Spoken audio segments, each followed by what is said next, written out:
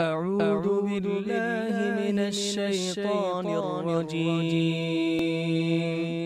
بسم الله الرحمن الرحيم.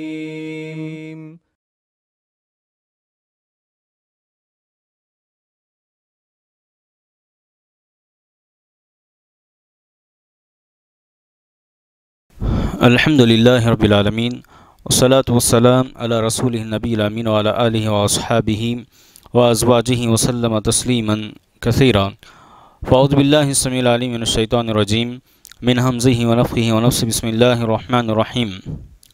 رب اجعلني مقيم الصلاة ومن ذريتي ربنا وتقبل دعاء. محترم ناظرین و سامعین، السلام علیکم ورحمۃ اللہ وبرکاتہ.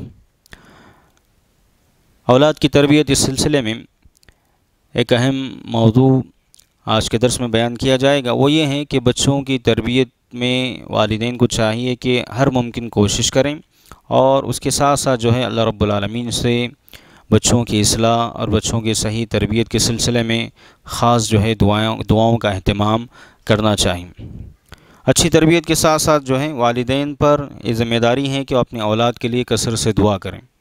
کیونکہ ان دعاؤں میں جو ہے اللہ رب العالمین نے قبولیت کی تاثیر رکھی ہے۔ خاص طور سے ابو حریرہ رضی اللہ تعالیٰ عنہ سے جو حدیث مروی ہے پیارے نبی صلی اللہ علیہ وسلم نے فرمایا، سنن ابن ماجہ کی یہ حدیث ہے، صحیح حدیث۔ اللہ کے نبی صلی اللہ علیہ وسلم نے فرمایا صلاح صداوات استجاب الحم تین ایسی دعائیں ہیں جس کو ضرور جو ہے قبول کیا جائے گا، جو ضرور قبول ہوتی ہیں۔ لا شک کا فی ہننا آپ نے کہا، اس کے قبول ہونے میں کوئی شک نہیں ہے۔ تو آپ نے فرمایا، دعوت المظلوم۔ مظلوم کی دعا۔ و دعوت المسافر، مسافر کی دعا و دعوت الوالد لولدی تیسرے نمبر پر آپ نے ذکر کیا کہ والد کی دعا بچے کے حق میں۔ تو دعاؤں کا جو ہے، بہت ہی اہم کردار ہے۔ تو والدین کو چاہیے کہ بچوں کے لیے صرف دنیا کو پیش نظر رکھ کر جو ہے دعا نہ کرے، بلکہ ان کی آخرت کی ہم صحیح فکر کریں، ان کی اصلاح ہو جائیں ان کے اندر اللہ کا ڈر، اللہ کا خوف بیٹھ جائیں اسلامی تعلیمات سے محبت ان کے دلوں میں بیٹھ جائیں اور وہ ایک اچھے مسلمان بن کر جہاں بھی رہیں، گھر میں رہیں، سوسائٹی میں رہیں، اسکول میں رہیں، کالج میں رہیں، کہیں بھی رہیں، ایک اچھے مسلمان بن کر جو ہیں، اچھے اخلاق کو اپناتے ہوئے زندگی گزاریں۔ انبیاء اکرام میں ابراہیم علیہ السلام کی دعا، شروع میں جو میں نے پڑھی ہیں، ابراہیم علیہ السلام سورہ ابراہیم میں اللہ نے انبیاء ابراہیم علیہ السلام کی بہترین دعاؤں کا ذکر کیا جس میں آپ نے جو ہے اپنے اولاد کے لیے دعا کی، رب اجعلنی مقیم الصلاۃ ومن ذریتی۔ اے اللہ، مجھے اور میری اولاد کو نمازوں کا پابند بنا۔ بہترین دعا ہے، ربنا وتقبل دعا۔ اور آپ نے کہا، اے اللہ، ہماری دعاؤں کو قبول فرما۔ تو اس طرح بچوں کے لیے جو ہیں، ہم اچھے امور اور اچھے اخلاق کے لیے عبادات میں ان کے اندر شوق پیدا ہوں، اللہ کا ڈر پیدا ہوں۔ اس سلسلے میں ہمیں دعائیں کرنا چاہیے۔ اللہ کے نبی صلی اللہ علیہ وسلم نے بعض چھوٹے چھوٹے صحابہ کے لیے جو ہے بہترین دعاؤں کا اہتمام اللہ کے نبی صلی اللہ علیہ وسلم نے فرمایا۔ خاص طور سے عبداللہ بن عباس رضی اللہ تعالیٰ عنہما جو چھوٹے سے جو ہے بچے تھے اور آپ نے ایک مرتبہ اللہ کے نبی صلی اللہ علیہ وسلم کے لیے وضو کا پانی کا انتظام آپ نے کیا۔ آپ وسلم نے سوال کیا کہ کس نے کیا ہے؟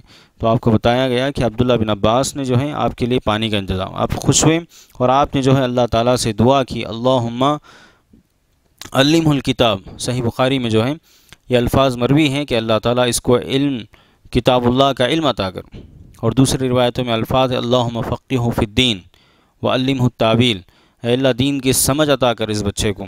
اور جو ہے، اس کو تفسیر یعنی قرآن کا علم عطا فرما۔ تو اس دعا کا نتیجہ کیا ہوا؟ کہ عبداللہ بن عباس رضی اللہ تعالیٰ عنہما بڑے بڑے صحابہ پر جو ہے، علم کی وجہ سے فوقیت لے گئے برتری مقام حاصل ہوا کہ آپ جو ہے ایک بڑے عالم ایک بہت بڑے اس امت کے جو ہے بڑے علماء میں آپ کا شمار ہوتا ہے۔ تو دعاؤں کی بڑی تاثیر ہوتی ہے، خاص طور سے والدین جو بچوں کے حق میں خیرخواہ ہوتے ہیں۔ اور خیرخواہ ہونا چاہیے تو ان کے لیے ضروری ہے کہ بارہا وہ اللہ سے دعا کریں، اپنے لیے خود کریں، اپنی اولاد کی اصلاح کے لیے، خاص طور سے آج کے جو ماحول ہمارا جو ماحول ہے، پرفتن دور ہیں جہاں پر جو ہے پھونک پھونک کر قدم ہمیں رکھنا ہے۔ تو ایسے ماحول میں ضرورت اس بات کی ہے کہ ہم دعاؤں کا اہتمام کریں، پوری کوشش کریں۔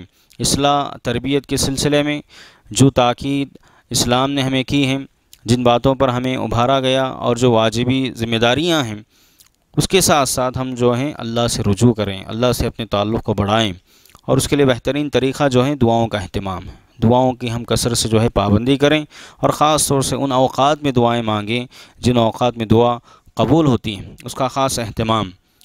فرد نماز کے بعد، اسی طرح قرآن کی تلاوت کے بعد رات کا آخری حصہ۔ اسی طرح اذان اور اقامت کے درمیان زمزم پیتے وقت۔ اسی طرح دیگر جو اوقات اللہ کے نبی صلی اللہ علیہ وسلم نے ہمیں بتائے ہیں سجدے کی حالت میں، ان تمام جو ہے اوقات کی اور جمعہ کے دن عصر کے بعد سے مغرب کا ایک چھوٹا سا وقت ہے جس میں جو بندہ جو دعا کرے، اللہ اس کو ضرور قبول کرے۔ گا تو اللہ سے دعا ہے کہ اللہ تعالی ہمیں بچوں کی صحیح تربیت اور ان کی اصلاح کے سلسلے ہر ممکن کوشش کے ساتھ ساتھ دعاؤں کا کثرت سے اہتمام کرنے کی اللہ توفیق عطا فرمائے۔ اللہ ہماری دعاؤں کو شرف قبولیت عطا فرمائے۔ آمین، ثم آمین۔ وما علینا الا البلاغ المبین۔ السلام علیکم ورحمۃ اللہ وبرکاتہ۔